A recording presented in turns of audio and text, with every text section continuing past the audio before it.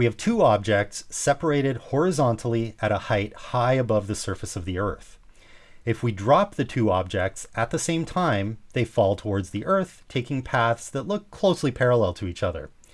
However, they will start to move closer together as they descend. In fact, the two objects will accelerate towards each other due to a well known effect of gravity called the tidal producing effect.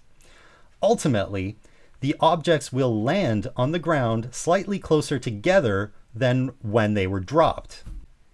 We can compare this situation to an analogy called the parable of the two travelers. Two travelers are at a planet's equator. They look around and the land appears flat. They are not aware that they're living on a planet which is roughly a sphere. They want to head in a direction north. One of the travelers first separates themselves from the other by traveling a few kilometers east along the equator before sharply turning 90 degrees to face north. As far as both travelers know, they are heading in a parallel direction relative to each other. They both then start walking in a straight line at the same time, traveling at the same pace. But something weird happens. As they travel, they notice they are getting closer to each other. As they continue to travel forward, they start to converge faster and faster. It's as if they were accelerating towards each other the two travelers are unable to explain how they are converging since they are walking straight along parallel paths.